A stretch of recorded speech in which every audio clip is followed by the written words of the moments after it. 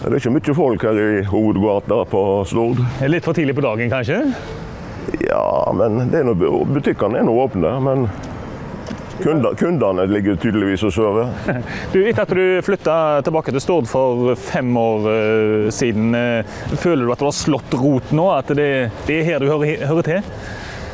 Du, Jeg føler ikke at jeg har slått rot noen plass. Det har jeg aldri følt. Jeg har vært mer eh, rastløs og rotløs enn eh, enn de fleste, tror jeg. Ja. Men eh, hvis jeg først skal slå meg ned, så er det like greit å ta det her på Stord. Ikke sant? Ja. Før vi blir kalde, i tillegg til rotløs, her, så skal vi stikke inn på Frugården her. Ja, vi må inn til Frugård. må litt- Det er må få litt varmen i oss her nå. plassen her. Stig inn. Takk skal du ha. Per Ståle, alle over 30-40 år iallfall har garantert sett deg på TV.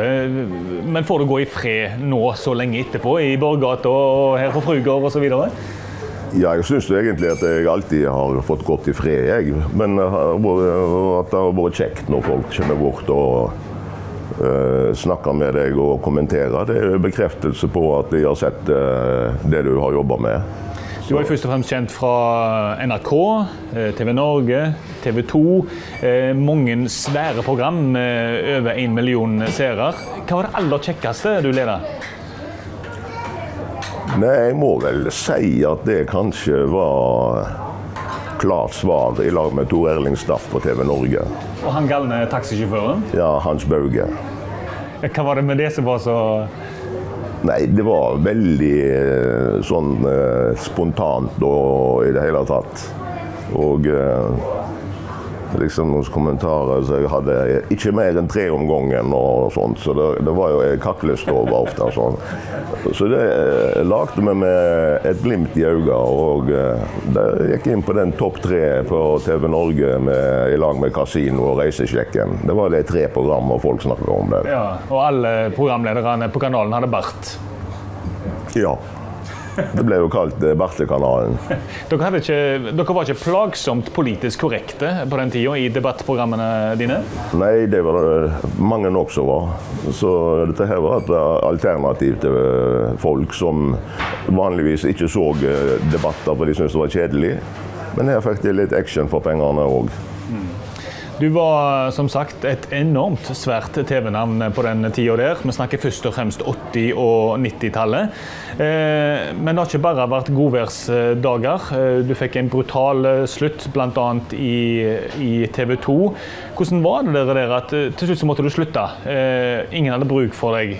Fra den, liksom den overgangen der, fra å være så folkekjære som du var, til det var helt slutt.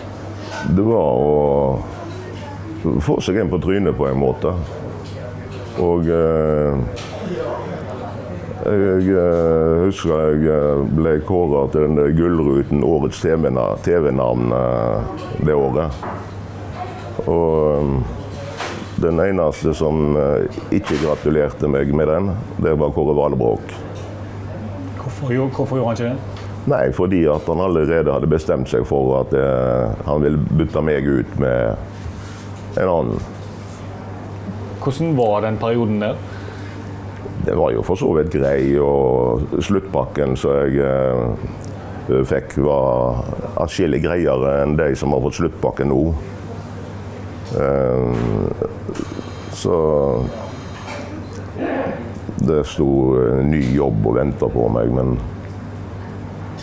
eh, jeg tok den i en periode. Men så fant jeg ut at jeg hadde jo fått betalt for eh, noen år framover i tid. Så jeg hadde jo penger å leve for, og det levde jeg godt og morsomt for. Så, sånn sett så eh, har jeg ikke kjeda meg, verken eh, på jobb eller utenfor jobb. Du levde godt og morsomt, eh, sier du. Eh, Du har aldri lagt skjul på eh, ditt eh, jeg vet ikke om jeg skal si, problematiske forhold til alkohol. Eh, Hvordan er situasjonen i dag? Du har jo vært avholdsmann i perioder. Ja, problematiske forhold, altså. Det er ikke problematisk for meg, men eh, kanskje for andre. Men nå bor jeg alene. I barndomshjemmet ditt på Stord. Ja, ja, ja. Og det er veldig greit. Det er stille og rolig, og nå driver jeg og pynter til jul. Og Vært på Europris og kjøpt båter med lys og greier. Og litt sånn skremsel og litt forskjellig sånt. Ja. Eh, nå skal ikke vi begrave oss for dypt i det depressive, men i alle fall når det sto på som verst, eh, du var lengst nede, du følte igjen at ingen eh, trengte deg, så vurderte du å ta ditt eget liv. Ja, Hvor sterk og overved den vurderinga var, det er jeg ikke så sikker på i dag, da. Men eh, når jobben på en måte ryker, eh, og du ikke tjener de store pengene lenger, så eh, ryker jo kona òg. For eh, da blir det ikke flere minkpelser, for å si det sånn. Så når hun fikk vite om det her, så begynte jeg i Frelsesarmeen. jeg.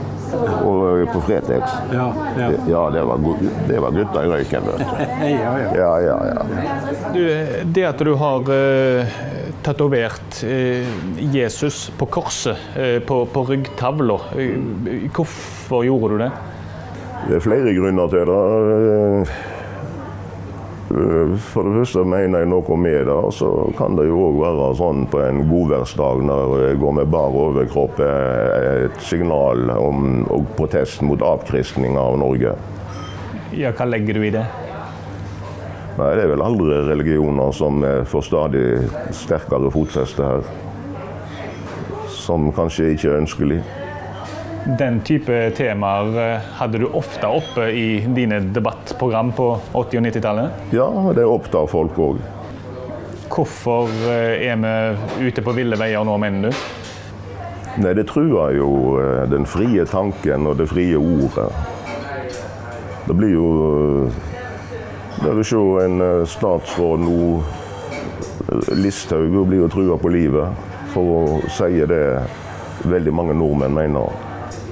Ja, men har ikke verdens rikeste land plikt til å ta imot de som eh, reiser fra krig og nød?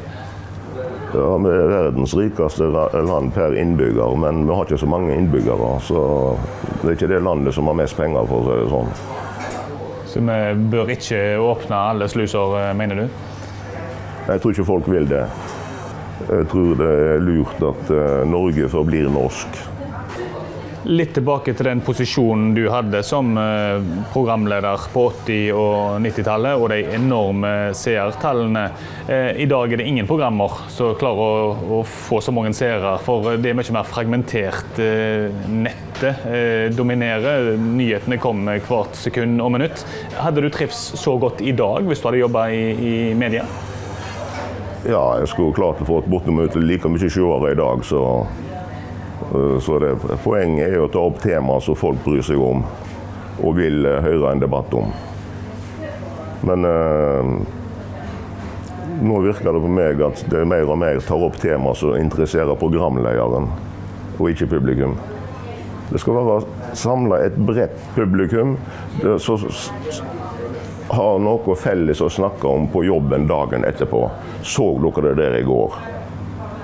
Du er 66 år eh, i dag. Eh, hvordan hadde du reagert hvis du hadde fått et, eh, et fett medietilbud nå? Er du ferdig med det livet, føler du? Vil du bare slappe av og være anonyme? Det spørs jo hva tilbud jeg hadde fått. da. Jeg måtte fått frie tøyler. Hvis noen hadde turt å gi meg det. Og da hadde du ringt han taxisjåføren nå? Bauge? Han er eldst av laget, men det er flere som han. Du er jo eh, et oppkomme av historier, eh, Per Ståle. Du, Du, må, Ja. du må fortelle den gangen på Var det Dagsnytt 18 det, når dere skulle ha værmelding etter debatten din? Nei, det var ikke Dagsnytt 18. Det var 7.30-sending om morgenen. Var det det? Ja. Og vi hadde ark da, temperaturer fra Vadsø og sørover. Og så han leser det, og så tente jeg meg en røyk, og så tok jeg leiteren lighteren bort til arket hans.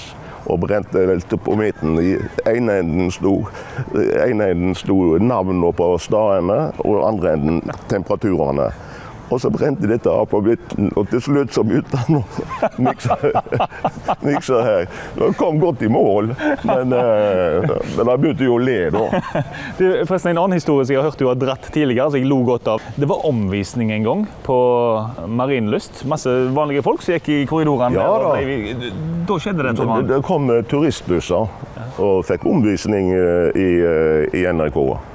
Og så kommer jeg i en korridor der, og der sto det en sånn svær eh, eh, søppelvogn, eller papirvogn, som kasta aviser og sånt i. Og så ser jeg disse kommer i korridoren der, og så bare letter jeg på lokket der. Nei, men Sølve, nå må du ikke sitte der lenger. Vi er ferdig med det nå. De venter på deg inne. Og så la jeg igjen. Ja, Det var ikke lange blikk da for disse her eh, besøkende. Ja, de trodde jo at selve Grotmol satt oppi deg.